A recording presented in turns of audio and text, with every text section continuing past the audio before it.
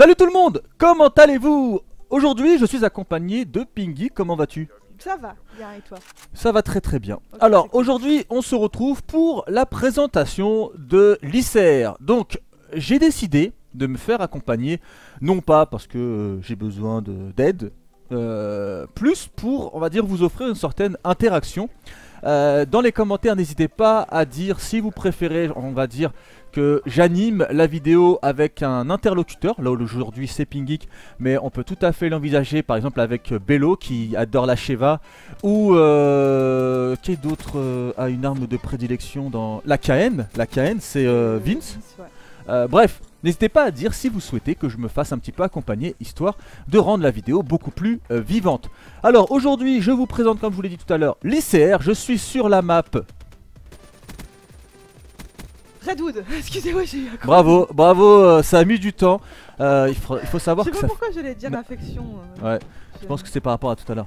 Ouais, je crois aussi. Alors, l'ICR, l'ICR, l'ICR, qu'est-ce qu'on peut dire de cette, de cette AR Clairement, elle manque cruellement de pêche. Je sais pas si tu, trouves, tu penses la même chose que Bah, moi, elle manque cruellement de pêche. Ouais, c'est en fait si tu la compares à toutes les autres AR du jeu, clairement ça. Ouais, en fait, je vous dis la vérité, je l'ai essayé une fois au début du jeu et là tout à l'heure je me suis dit bon bah il faut quand même que je l'essaye un petit moment avant de, de dire des bêtises.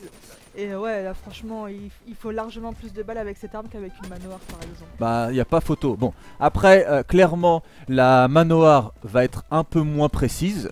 L'ICR a, a cette, euh, a cette, euh, comment dire, Faculté. a cette faculté, euh, a cette caractéristique, c'est qu'elle est très précise. Donc, en fait, ça me fait penser un petit peu, si vous vous souvenez bien, de l'ACR euh, de euh, Modern Warfare 3 ou de Modern Warfare 2. Ça rien de me regarder du genre euh, vas-y appuie ce que je dis parce que j'ai pas joué à ces jeux. Ouais, joué donc, tout. Voilà, elle est assez faible en puissance. Elle a elle une bonne Elle cadence. était beaucoup plus puissante. Je me rappelle que De quand, euh, la CR sur je sais plus si MW2 ou MW3 qu'on avait qu'on avait joué ensemble, elle était quand même plus puissante que la.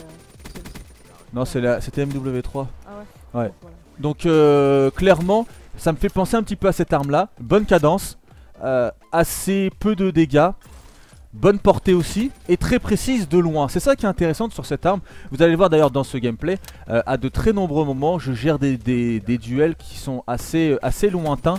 Et aussi, à certains moments de la vidéo, vous allez le voir, je vais me prendre de sacrés bullshit. Tout simplement parce que l'arme manque énormément de pêche. Et donc, lorsque vous êtes face, et là ça va être le cas, à un moment donné dans la vidéo, je vais même prendre un turn de l'espace face à... la killcam s'il te plaît. Hmm voir ça, t'as laissé la killcam. Non, non, non, non. non. si, si, j'ai laissé la killcam parce que j'ai vraiment pas compris.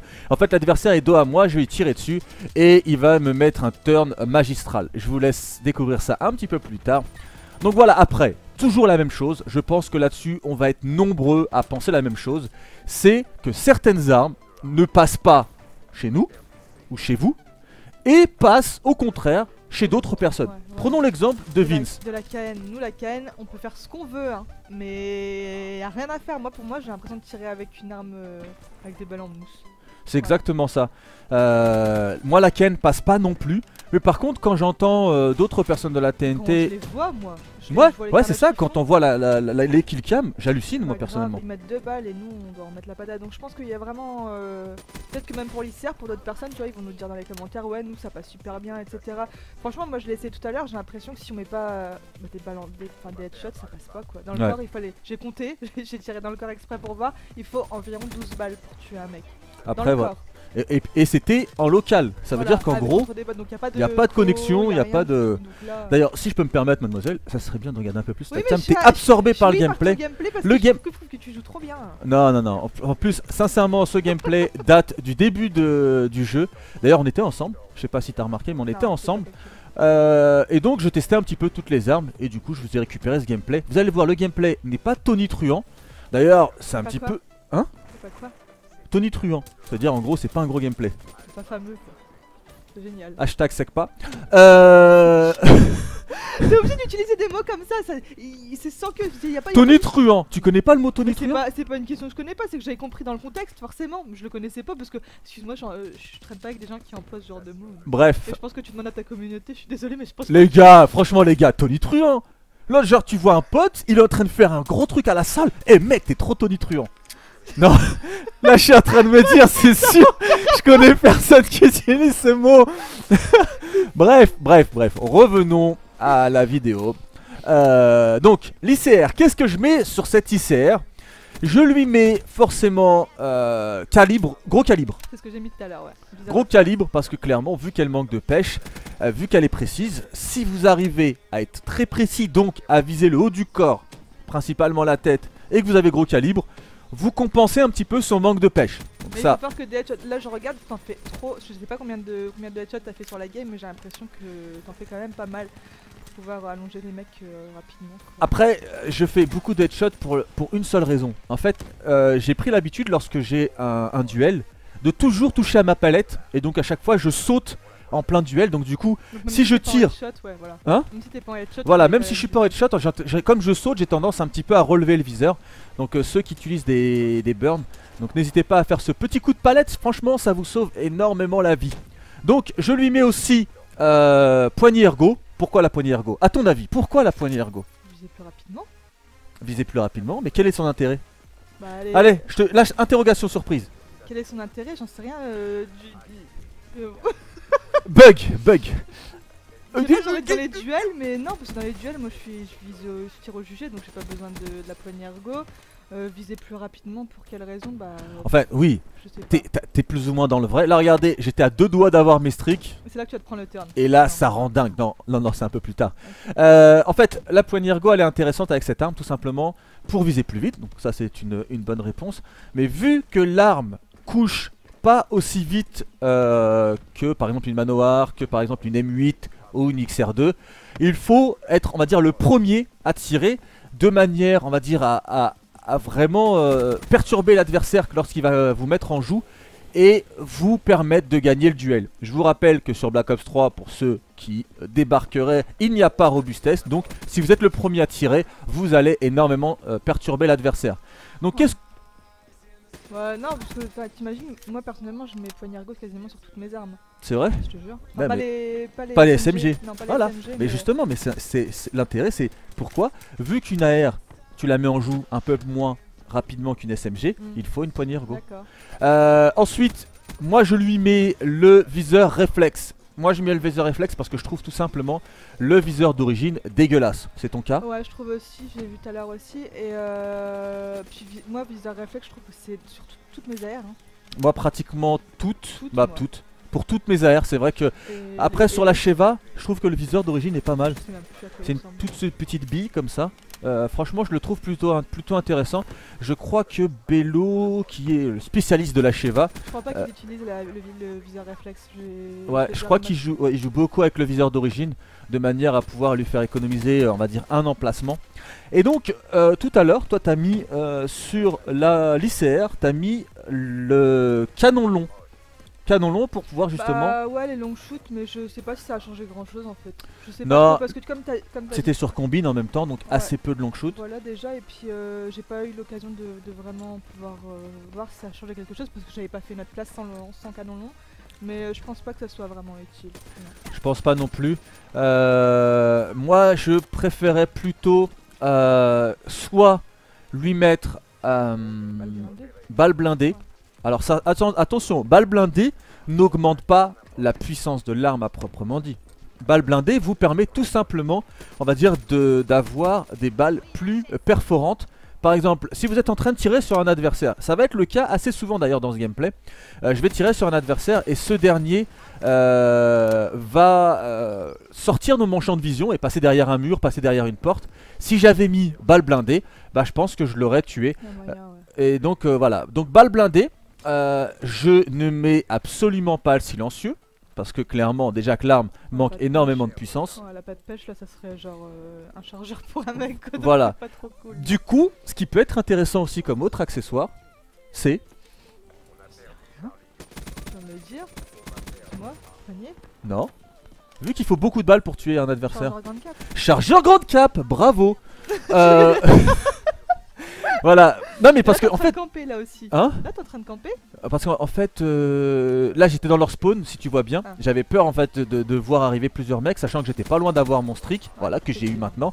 Je me suis dit, ça serait pas plus mal de camper euh, un petit peu, ce que tout le monde fait, je pense. Non, moi je le fais jamais. Mytho va. Je- je suis jamais Quand- en série. Allez, levez la main ceux qui, qui êtes derrière, derrière votre ordi, derrière votre écran. euh, Quand on est en série, on a tendance à temporiser, c'est vrai, mais moi je te jure que j'ai du mal. C'est pour ça que j'ai rarement mes séries. Ouais. J'arrive pas. Donc, Puis En plus, euh, j'arrive pas à camper. Genre, j'ai l'impression que je suis nul quand je campe. Enfin, j'ai l'impression que je me fais toujours choper en fait. moi en fait, des fois je fais des grosses séries. Et en fait, dès que je vais m'arrêter un moment, Ouais, c'est comme si ouais, genre j'avais plus l'habitude. Je fais putain, tout à l'heure j'étais chaud et j'ai plus l'habitude. Donc c'est vrai que des fois il faut rester dans le dans le game. dans le ouais dans, dans le move. Donc euh, donc voilà pour l'ICR. Clairement, ce n'est pas mon arme de prédilection. Après voilà, euh, je vous fais cette vidéo juste avant Noël. Euh, Peut-être que des patchs vont intervenir, on sait pas, d'ici un mois, deux mois, trois mois, six mois. Et euh, du coup, on va voir l'ICR devenir, on va dire, euh, très intéressante. Euh, ça a été par exemple le cas, souvenez-vous tous, sur Black Ops 2, euh, de la Scarache qui a été patchée pratiquement deux ans après sa sortie. Mais maintenant, elle est euh, au top. Alors, avant, c'était la N94, l'arme genre au top of the top des AR. Et la M8, mais qui non, mais bon, dépendait en aussi des... rafale automatique. Et euh, puis après, bah, là, la Scarache, je mettais un silence. Bah, tu te rappelles Ouais, ouais, je me rappelle bien, je jouais Ouais. qu'avec ça. En fait, je viens de remarquer, avec ce qu'elle vient de dire, que elle a choisi l'arme la plus puissante et elle joue qu'avec ça. C'est pas vrai. Tu joues avec Je quoi en ce moment la, la MP7 dans, dans- Sur Black Ops 3, tu joues avec quoi? À la VM pute. Voilà, c'est tout Non, je te jure que non. Bah non, il y, a des- y, y a des maps, je peux pas jouer avec la VM pute, sinon je joue avec tout le temps. Donc, euh, on est bien d'accord. Après, certains derrière leur écran vont me dire Mais attends, Karim, on va pas non plus choisir la pire arme du jeu pour essayer de faire des games. Bah, euh, clairement, euh, je vais pas jouer avec l'ICR si elle pue du cul. Bref, donc voilà pour ce gameplay. Comme je vous l'ai dit, c'était un gameplay euh, de tout début de tout début de, de jeu. Mm. Donc, euh, vous avez pu remarquer qu'on était assez euh, bas en niveau. Ah, c'est même pas prestige 1. On était rien, on était vraiment à poil même au niveau des, des accessoires. Enfin, il y avait assez peu de. Ouais, regarde, que des débutants. On est. Moi, j'étais 43, t'étais 29. Donc euh, voilà, on était vraiment débutants sur le jeu. Mais voilà, l'idée de vous présenter ce gameplay, c'était uniquement euh, histoire de vous apporter, on va dire, un support à ce qu'on dit. En tout cas, j'espère que vous avez kiffé cette vidéo. J'espère que vous avez kiffé un petit peu l'interaction avec une autre personne. Ah, je vais bien revenir, mais pour la VMP cette fois-ci. La VMP. Alors pour la VMP, on sera accompagné euh, de le veulent. pour voilà c'est ça le truc c'est que n'hésitez pas à dire dans les commentaires vous avez eu plusieurs vidéos où j'étais uniquement enfin vous aviez uniquement mon mon discours Euh, par exemple la Faro la M8 la XR2 euh, bref si vous souhaitez plus ce genre de vidéo où je suis seul n'hésitez pas à le dire dans le commentaire par contre si vous voulez que je sois accompagné que ce soit avec Pingeek en facecam parce que forcément on habite ensemble pense que Bellogol, ouais, c'est bien pour. ou euh, Bello, euh, enfin là Bello qui habite à Nice, ça serait un peu compliqué. Mec, tu viens, on va faire une vidéo ensemble. Après, on tu, après, tu repars aussi. Voilà, après tu dégages par contre. Parce que euh, On se sert de toi. voilà, on est des profiteurs. Euh, D'ailleurs, lui il doit sourire de ouf parce que euh, petite anecdote, hein, petite anecdote. Vas-tu dire aux gens que Bello est venu sur Rouen et que tu l'as pas laissé rentrer chez nous? Ouais. Explique pourquoi quand même, parce que là ils vont te dire oh, comment elle abuse. Non, c'est pas. Attends, arrête. Il est venu sur Rouen. En fait, il s'est arrêté. Il a fait un détour vite fait pour, euh, pour nous voir et pour aller manger au resto ensemble. Mais on prévient la dernière minute qui passe. Et en fait, la maison, c'était quand on venait d'emménager. Du coup, c'était vraiment le bordel partout. Je lui ai dit, écoute, mec, j'ai mes strings et tout qui traînent partout dans l'appartement. J'ai pas forcément envie que tu vois ça. Et donc, je pense que toutes les filles qui regardent tes vidéos, elles pourront comprendre. Les mecs, par contre, comme vous êtes en général, en général, je dis bien. hein, je généralise pas, mais un petit peu quand même. pas trop. euh, Regardant sur l'ordre, Bah non, clairement. Moi, par contre, je suis pas du tout comme ça. Moi, je suis quelqu'un de très ordonné. Bref, en tout cas, voilà, j'espère que cette vidéo vous aura plu. Cette semaine, nous sommes dans la semaine où je vous publie une vidéo par jour. Donc, j'espère que vous allez être au rendez-vous. Euh, deuxième chose que j'ai à vous dire, n'oubliez pas, nous sommes dans la semaine, euh, dans la semaine du 24 heures de stream. Donc, samedi 19, 19, samedi 19, on se donne rendez-vous à 9 ou 10 heures? J'ai un info, on avait dit Euh, midi. on se donne rendez-vous à 10h pour commencer ce 24 heures de stream non-stop. Donc pour l'instant, c'est prévu de le faire sur Twitch, mais j'ai une petite réticence à le faire sur Twitch Pourquoi et peut-être le faire directement sur YouTube. Je ne suis pas encore fixé, je vous tiendrai au courant Tu tout au long de cette semaine. Hmm m'en as même pas parlé. non, non, non, j'ai réfléchi là euh, récemment. Voilà, sur ce, je vous laisse. Comme d'habitude, si vous la vidéo vous a plu, n'hésitez pas à lâcher un commentaire. Si elle vous a plu encore plus, plus, plus, n'hésitez pas à lâcher des pouces. Sur ce, salut tout le monde.